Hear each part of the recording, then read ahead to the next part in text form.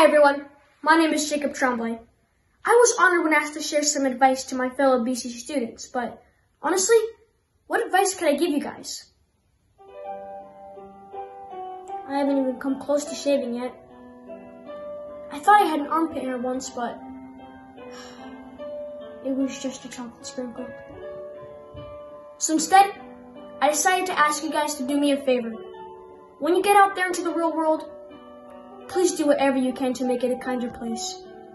And in the famous words of Dwight Schrute, whenever I'm about to do something, I think, would an idiot do that?